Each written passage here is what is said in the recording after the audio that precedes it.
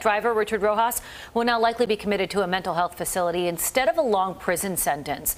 An 18 year old tourist from Michigan was killed when he plowed through the crowd. Her family in town for the verdict and disappointed in the jury's decision. Our Stephanie Bertini spoke one on one with them tonight. She joins us live from Times Square now with more on their reaction. Stephanie. Good evening. It was 2017 when it happened, but because of delays during the pandemic, the trial only started last month. The verdict today, a shock to many, including the father of one of the victims. Meantime, the defense says this man will finally get the help he really needs.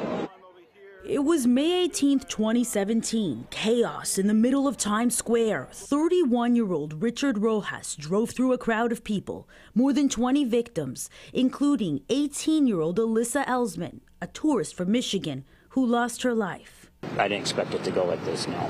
Her father, Thomas Elsman, is dealing with a new kind of heartache on top of the pain of losing his daughter.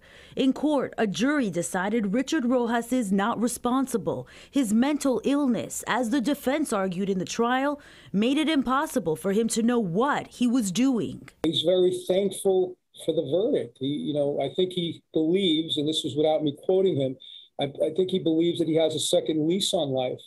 Uh, he also is a very mentally ill man and he and you know he needs a lot of treatment. Defense attorney Enrico DeMarco has been on the case since the beginning. There is a human side to me where you want to say, you know, you're sorry or what have you, but you can't because your job is as a defense lawyer to just do the best you can in presenting your client's cause. There were more than 20 victims. Some testified, including Elsman's younger sister, whose injuries included broken ribs, a collapsed lung, and a compound leg fracture and trauma. That car just went by here. If she hears a car rev, it's post traumatic for her. It puts her in another space. On the defense side, Rojas's family members testified he descended into paranoia after he was kicked out of the Navy in 2014. Throughout the records that were revealed in the trial, in the course of the trial, Mr. Rojas has expressed repeatedly remorse for this horrific incident.